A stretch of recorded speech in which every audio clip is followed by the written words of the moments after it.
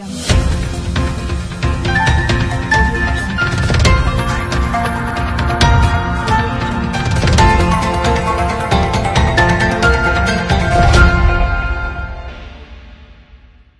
में दसवीं के दिन भी भंडारों का दौर लगातार जारी रहा। माता रानी के भक्तों में दसवीं के दिन भी गजब का उत्साह देखने को मिला। कई जगह भंडारों का आयोजन किया गया Rajneesh convent school, near Diwani road, Bhojpura Mainpuri विद्यालय की विशेषताएँ हैं, अनुभवी एवं समर्पित शिक्षक शिक्षिकाओं द्वारा शिक्षण कार्य, शांतिपूर्ण प्रदूषण रहित सुरक्षित एवं शिक्षा उपयोगी वातावरण, बच्चों के बैठने की समुचित व्यवस्था, बच्चों के आवागमन हेतु परिवहन सुविधा खेल कूद एवं योग शिक्षा की व्यवस्था, कंप्यूटरीकृत अत्याधुनिक शिक्षा पद्धति, लाइब्रेरी की व्यवस्था, विकलांग, निराश्रित एवं मेधावी छात्रों को समुचित सहायता, Rajneesh convent school, near Diwani road, Bhojpura Mainpuri देव तपस्या की तपोभूमि कहे जाने वाले जनपद मैनपुरी में भक्ति की ब्रज धारा एक अनोखे अंदाज में दिखाई देती है। नवरात्रों का दौर चल रहा था। नवरात्रों के समापन के बाद भी पूरे जनपद में भक्ति की अनोखी मिसाल देखने को मिल रही है। लोग जमकर दान पुण्य कर रहे हैं। दसवीं के दिन भी पूरे जनपद में कई जगह भंडारों का आयोजन किया गया।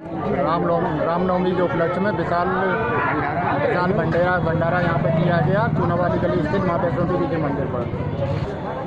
सैकड़ों लोगों ने यहाँ पे आकर प्रसाद को ग्रहण किया और बहुत अच्छी तरीके से भंडारा यहाँ पे चल रहा है माता जी का। आगरा रोड बड़ी खानगाह के पास ओम प्रकाश फर्नीचर की ओर से विशाल भंडारे का आयोजन किया गया। इस भंडारे में सैकड़ों की संख्या में लोगों ने प्रसाद ग्रहण किया। दोपहर एक बजे से शुरू हुआ यह भंडारा देर रात तक लगातार जारी रहा। वहीं कस्बा आलीपुर खेड़ा में भी भंडारे का दौर देखने को मिला। करहल में भी कई जगह भंडारे किए गए। जनपद के अन्य स्थानों पर भी दसवीं के दिन लगातार भंडारे जारी रहे।